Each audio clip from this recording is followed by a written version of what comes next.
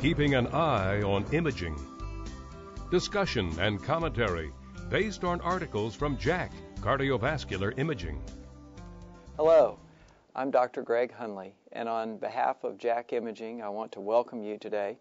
Today we have Dr. Hugo Katus from Heidelberg, Germany, who's going to speak to us about a new application in cardiovascular magnetic resonance imaging in which he uses a new form of dobutamine stress testing to diagnose inducible ischemia. Dr. Katus, welcome. And could you tell us a little bit about your new recently published study? Well, first, I would like to thank for the opportunity to present our data and also for the publication in JACC uh, cardiovascular imaging.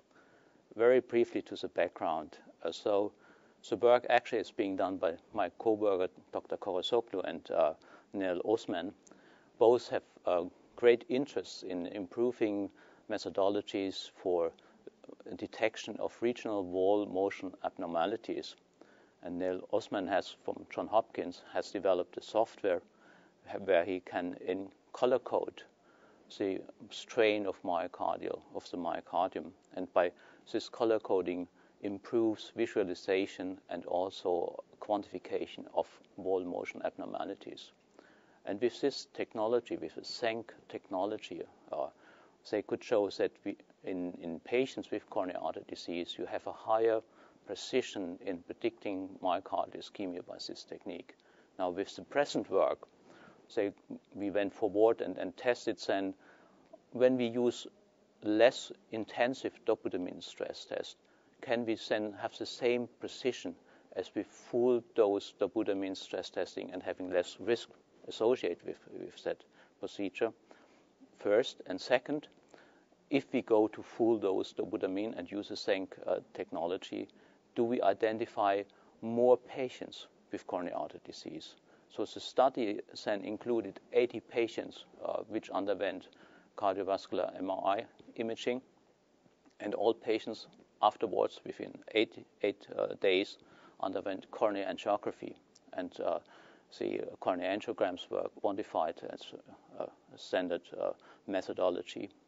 And it turned out that uh, those patients having significant coronary artery disease were 46 patients.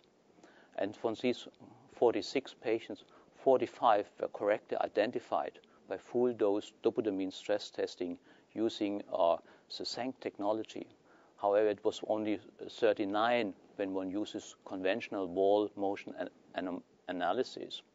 And importantly, when one goes to the 20 microgram uh, per uh, kilogram dobutamine dose, uh, it turned out that one has the same sensitivity as with full dose uh, dobutamine stress testing when using conventional wall motion abnormalities. So the data indicate by the SENC technology, one does have more precision and more sensitivity for the detection of coronary artery disease, and that may translate to more patient safety and, and uh, more precision in diagnostic testing.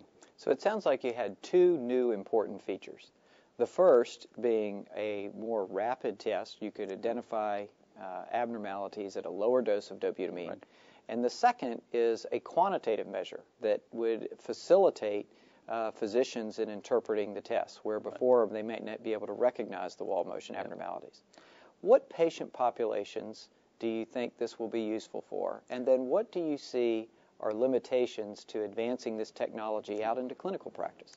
Well, we, we, the study population was a selected group of patients uh, with an intermediate risk uh, features. There were no patients with previous myocardial infarction since we uh, selected for uh, patients without wall motion abnormalities. Uh, so the group of patients will be those with intermediate risk features uh, to be identified by that technology. The second point is um, what is the translation then to, to, clinical practice and what are the limitations. So right now it still is, is a, a technology which is not included in, in the process of MRI imaging. So it's a post-processing procedure. So with a faster SENC technology, we hope then to really have online uh, data and, and identify online those which have already a uh, wall motion abnormality. And the most sensitive um, measure was actually not strain, but strain rate, uh, which uh, turned out to be more sensitive than strain. So with strain rate, we could hopefully have then included in, in the online analysis a more, more faster and more precise testing. Dr. Katus, I want to thank you very much for sharing your time with us and for this very informative study. Okay. Uh, it sounds like you'll be working uh, with uh, both small and larger industry to help move this into right. clinical practice, and this new innovation can be very helpful for managing patients with cardiovascular disease as we look for new technologies to identify those uh, at risk of cardiovascular events. Thank you very much. You're welcome.